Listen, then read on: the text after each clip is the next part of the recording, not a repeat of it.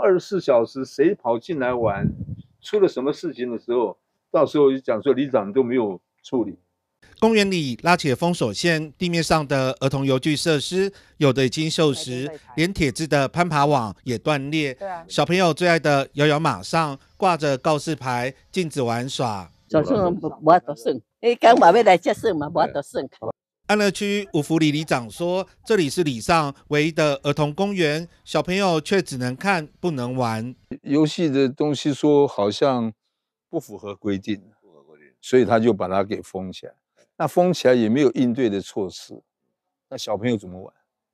那我们这个地方唯一的，就希望市政府可赶快把它给看做一个妥善的处理。”社区型的小公园向来是当地小朋友游乐场所，今年初被发现不符合安全规定，遭到封闭。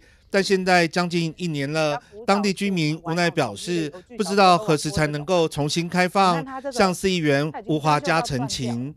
到下一步要做什么，可以可以听听大家的意见。但是你危险的这个因子还在这个，不应该放在这边不管不顾。对啊，我们你就叫里长在那边顾，也不可能的。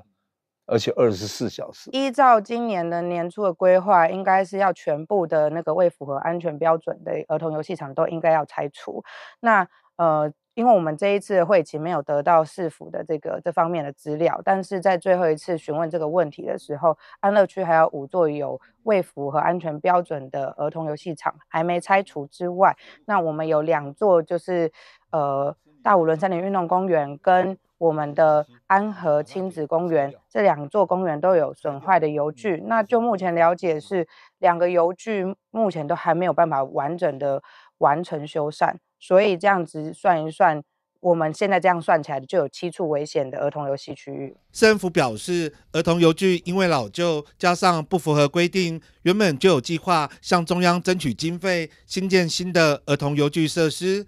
安乐区公所已经在十一日连夜将旧的邮局拆除。记者黄少明基隆报道。